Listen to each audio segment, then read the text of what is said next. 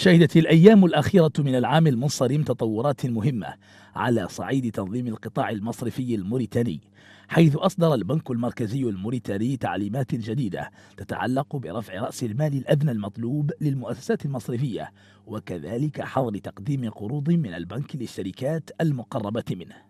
التعليمات الجديدة تأتي في سياق بدء تنفيذ قانوني 2018 المتعلقين بالنظام الأساسي للبنك المركزي الموريتاني وتنظيم مؤسسات القرض وقد سبقتهما بعض التعليمات الأخرى المتعلقة بحوكمة البنوك كما أنها تأتي لمحاولة انتشار القطاع المصرفي الذي يمثل نسبة 88% من القطاع المالي الموريتاني من وضعية الهشاشة التي يوجد بها. إحنا كي سولتني عن القطاع المصرفي، القطاع المصرفي مشكلة مشاكل من بين مشاكل.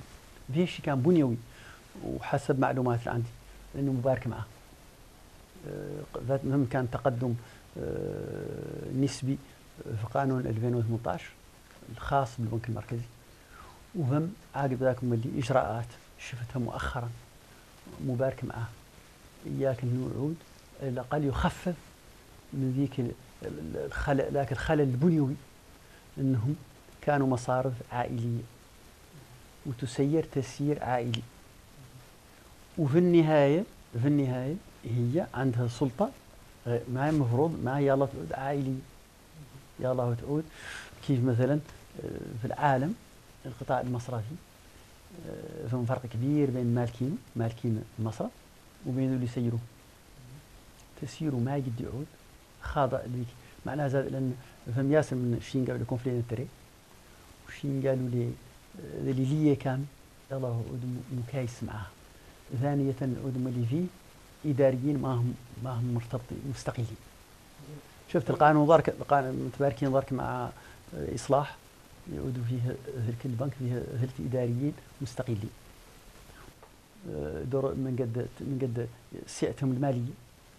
لا عندهم دور ينزاد رأس مالهم دور دور لا ينزاد ينزاد رأس مالهم. ودورهم حقا هم اللي خالين ثم مؤشرات هم اللي احترازيه دورهم حقا لا تنشاف.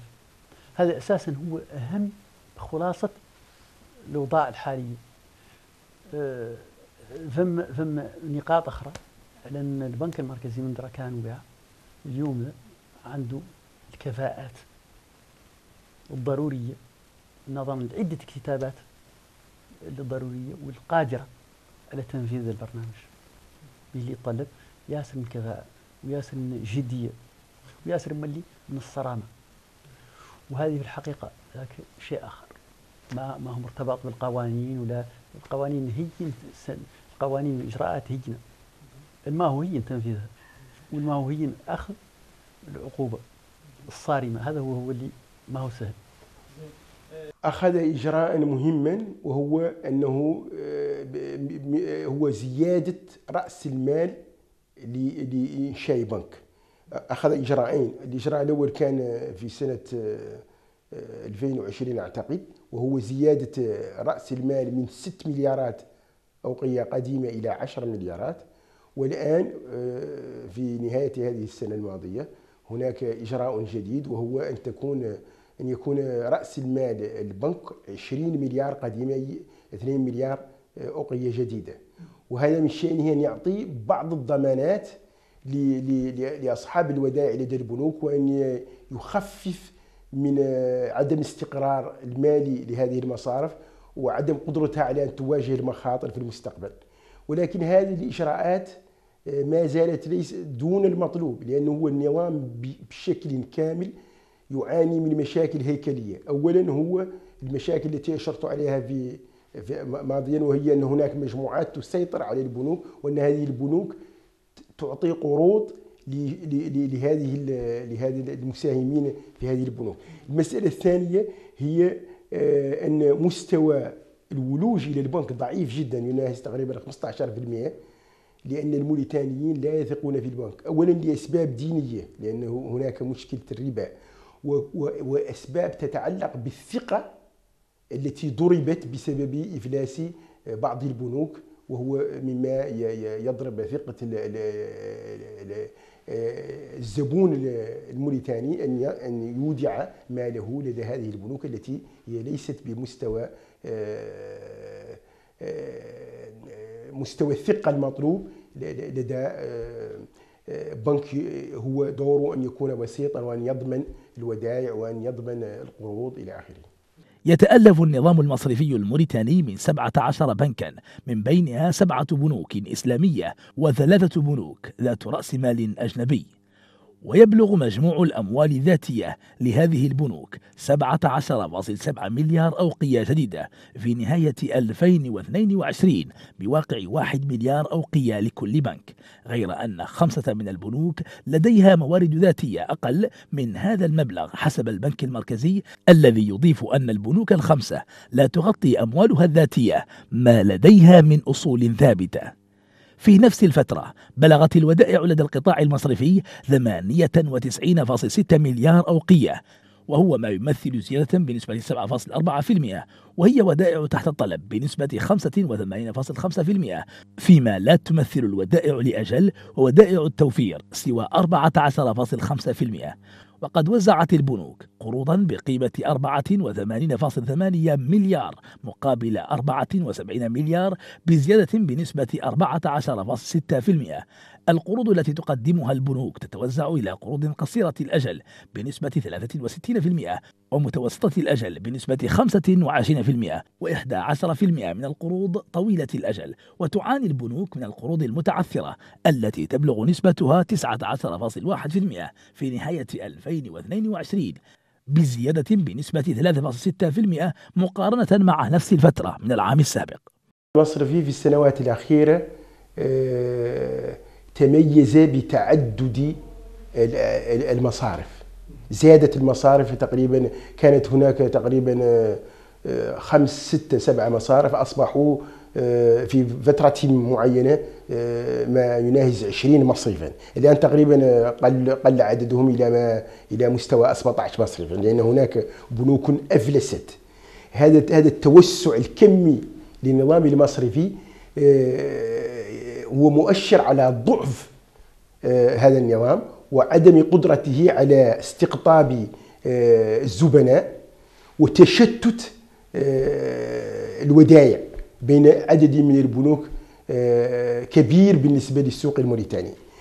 وهذا ما أدى إلى إفلاس آه، بنكين بشكل رسمي وهناك واحد آخر عنده كثير من المشاكل آه، يمكن أن يفلس قريبا إذا هذا ما دفع البنك المركزي إلى إلى اتخاذ بعض الإجراءات التي هدفها الأساسي هو إعادة الثقة للناس التي تودع أموالها في البنوك لأنهم لأن أي بنك يسقط فهذا يكون يكون له تداعيات على النظام وعلى الثقة في النظام.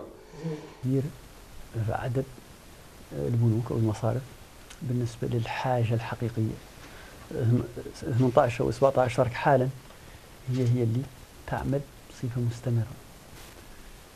ثانيا الدور البنك المركزي ودوره ورقابته على عمليات المصارف. ثالثا النتيجة. في النهاية به اللي تقوم نظام اللي على نتيجته. ينتظر من النظام المصرفي أي نظام مالي في العالم يطلب البنك المركزي عنده دور أساسي هو محاربة التضخم المالي. يعني الأسعار تم قيمة العملة تم محتفظة بها نسبيا. معناها أن مستوى التضخم يعود محكم فيه. ثانيا تعود تمويل الاقتصاد الوطني والتمويل ملائم مع الحاجيات. ومساعد أو محفز للنمو الاقتصادي. وهذا يتطلب أنها مساهمة القطاع كامل في التوازنات الاقتصادية الكبرى. ما ما هو متحكم فيهم. اللي متحكم فيهم الدولة والاقتصاد الوطني إلى غير ذلك والوضعية الاقتصادية والبنية الوطنية والبنية الاقتصادية. لأن يعود وهمها بعد ميزان المدفوعات في حالة حسنة. معنى ذلك وعود رصيد من العملة الصعبة المتوفر يسمح مريح. معنى ذلك أن يعود حدود خمسة أشهر ستة أشهر من حاجيات الإيرادات حسب الأرقام المتوفرة.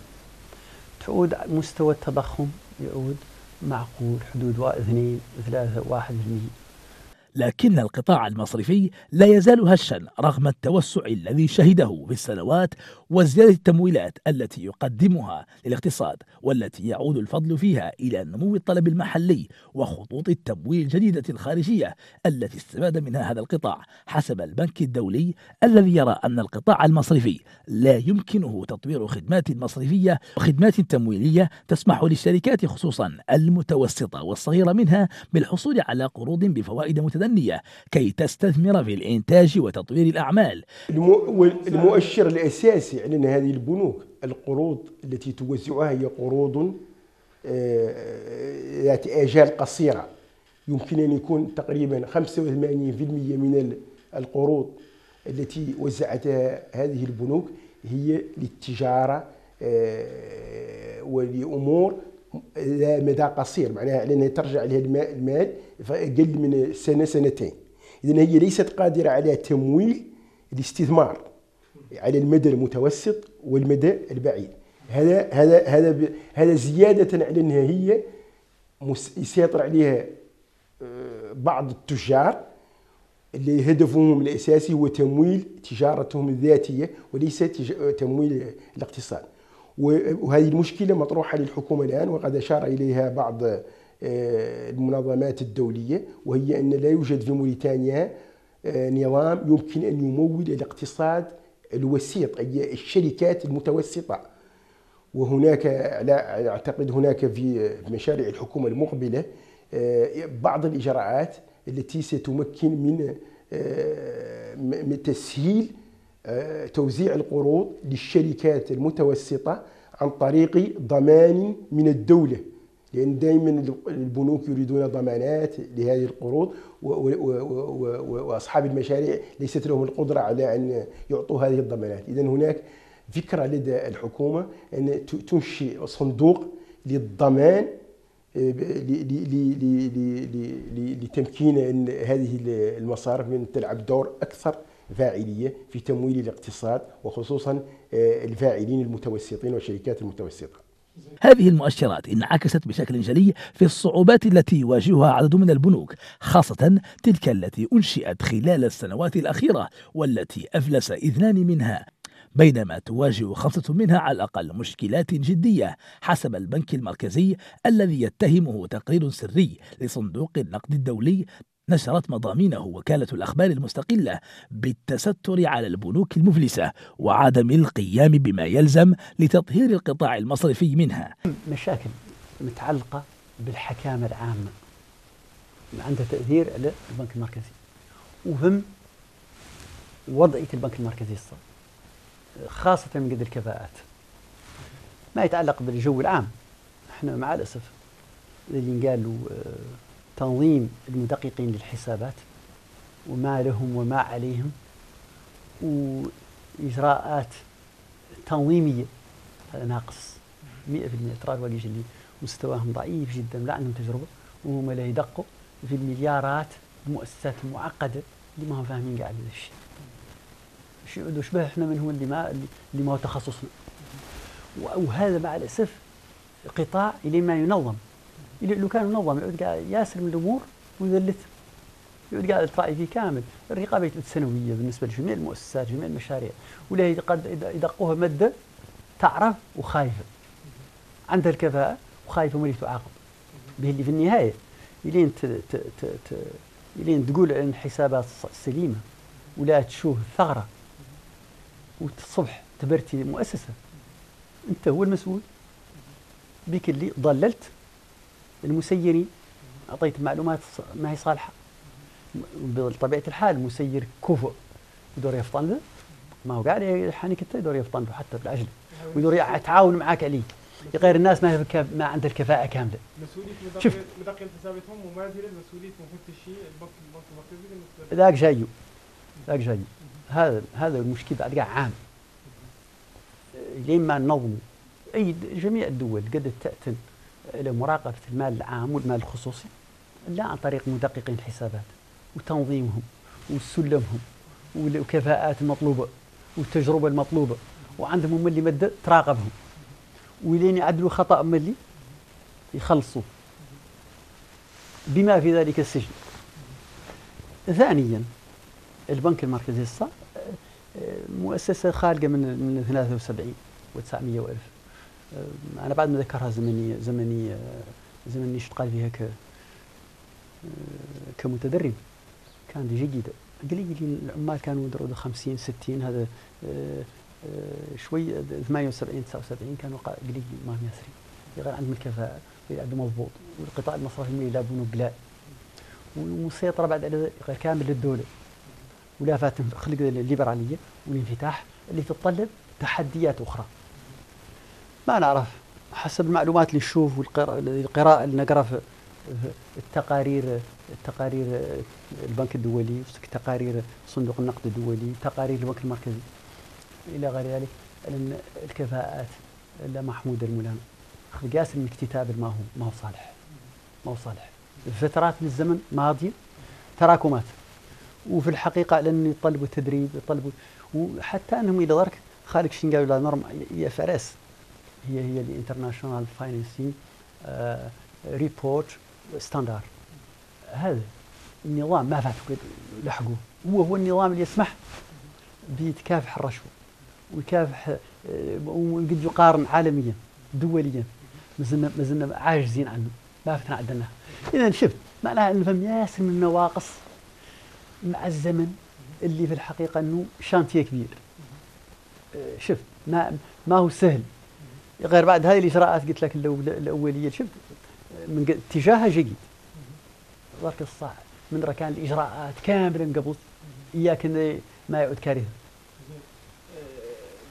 آه، في منتصف الثمانينات مع دخول البنك الدولي وصندوق النقد الدولي على الخط بسبب الديون الموريتانية آه، تبدلت السياسة الحكومة فيما يتعلق بالنظام المصرفي. وكان من الواجب على على الدولة أو المفروض من طرف هذه الصناديق النقدية والمؤسسات المالية الدولية أن تكون هناك خوصصة في نطاق الاقتصاد الليبرالي للقطاع المصرفي. فظهرت بنوك تجارية آه، خصوصية. كانت هذه البنوك كلها كانت تملكها الدولة وأصبح يملكها آه، بعض المجموعات التجارية. هنا بدأ منعطف جديد في تاريخ النظام المصرفي الموريتاني وهذا المنعطف هو أن هذا النظام لم يعد يلعب الدور الأصلي وهو أن يكون وسيطا آه، بين الفاعلين الاقتصاديين وأن يمول الاقتصاد الموريتاني حسب المعايير آه، المطلوبة. ولكن دخل على الخط هناك أجندات خاصة بهذه المجموعات وهي أن كل مجموعة تريد أن يكون لها بنكها الخاص لتمويل حاجاتها المالية بالدرجة الأولى قبل أن تمول الاقتصاد بدرجة ثانية. لأن ما يميز التجاره التجار الموريتانيين هم أنهم يستوردون المواد الأساسية من الخارج ولا بد لهم أن يكون هناك بنك يمكن أن يمول هذه الدورة التجارية العالمية التي عن طريقها يستوردون السلع الأساسية ويبيعونها في السوق الموريتاني. اذا كانت هذه المجموعة كل لها بنك وكانت هذه البنوك تمول هذه المجموعات وهذا يطرح مشكلة الآن ما يسمى بالقروض التي توزع على على مالكي البنك ونسبتهم وصلت إلى الثلث من القروض العامة التي وزعت من طرف النظام المصرفي الموريتاني. هذه الوضعية يعزوها المتخصصون إلى عدم حوكمة هذه البنوك وضعف الرقابة المصرفية على مستوى البنك المركزي وهي وضعية جاءت نصوص 2018 لمعالجتها لكن تطبيقها على أرض الواقع لا يزال متعثرا. فقد صدرت حتى الآن نصوص تطبيقية قليلة من بينها تعليمات الحوكمة الصادرة في بداية 2022 والتي تنص على إنشاء هياكل حوكمة تنطلق من الفصل بين الهياكل المداولة والهياكل الإدارية وتحدد مهام كل عضو في هذه الهياكل كما تلزم البنوك بضرورة تعيين ثلث أعضاء مجالس إدارتها من المستقلين والفصل بين وظيفة مجلس الإدارة والمدير العام للبنك كما هو حاصل في معظم البنوك. غير أن تقرير صندوق النقد الدولي السالي في ذكره. يرى أن الإشراف على القطاع المالي في موريتانيا وهي مسؤولية البنك المركزي ما يزال يمثل منطقة ضعف مؤثرة في الحكامة ويحتمل ارتباطها بالفساد. فرغم الإصلاحات إلا أن تطبيقها على القطاع وعلى مؤسسة الإشراف يظل محدودا فاستقلالية البنك المركزي لا تزال محل شك وهي أحد المؤشرات الأساسية لسلامة النظام المالي وضمانة من ضمانات استقراره. بقايته الاستقلالية بقايته في العود فيه أعضاء في هيئاته هيئاته التنفيذية وعنده هيئتين مهمات هم المهمات التنفيذ الثالث ما هو؟ هيئة غير شخص. الهيئة الأولى اللي ينقالوا لو كونسي جينيرال اللي هو كيف مثابة مجلس إدارة غير بشكل ثاني. متحكم فيه في النهاية المحافظ والموظفين موظفين الدولة. في النهاية ما في استقلالية ولا فم وسيلة يقدر يعود فم الشهود وفم الوقيش يقدروا ينبهوا على المصلحة العامة. راني معتبر إنهم يقدروا يخرصوهم من غير بعد لكن الاستقلالية والحرية ما هو عندهم. ثانيا عندك لجنة التدقيق تدقيق بكل هذه الأرقام اللي أعطاها لك. كامل فرصة يدقق قياس من التدقيق. لمصداقيته. وذيك اللجنه المولي ما فيها مست... ما فيها في فيها رجاج عندنا مستقل غير استقلاليته ما غير ما ي... ما ي... ما هو تنفيذي ما ي... ما عنده صوت تنفيذي. أنا أنه لا مراقب كأنه. وهذا في الحقيقة لأنه من من المسائل اللي مبارك معها حسب معلوماتي. كان هي تطبق فعلا على أرض الواقع وتعطي نتيجة والما قد يطبق هل هي يعاقب ذاك ما نعرف. ذاك شيء ومع ذلك فإن القطاع يشهد حركية مهمة يقودها التحول الرقمي بالأساس الذي زاد بشكل معتبر من نسبة التعامل مع البنوك كما أنه يساهم في تطبيق معايير الحوكمة والإفصاح كما تساهم في تحسين وتسريع الخدمات المقدمة للعملاء. وقد فتح البنك المركزي ورشات مهمة على هذا الصعيد.